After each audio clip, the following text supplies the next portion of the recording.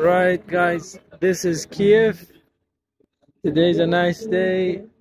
It's been raining for the past three days. Today's a nice day. Today's Saturday. What date is it today? I think it's the 6th. People are coming out. I'm trying to make sense of the situation. 6th of August 2022. I don't know, it's it's a different feeling, but people are just still trying to enjoy the atmosphere.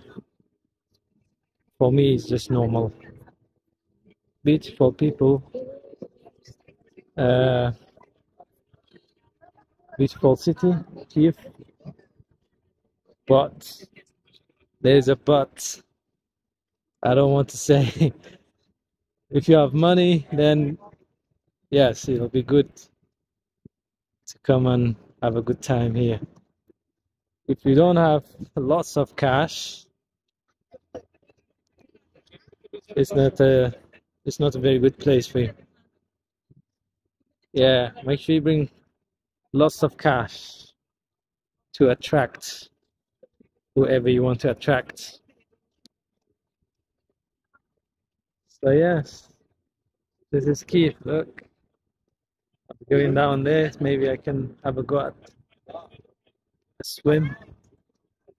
Although I don't have my swimming costumes. Yeah, I'll be taking more videos. Update you.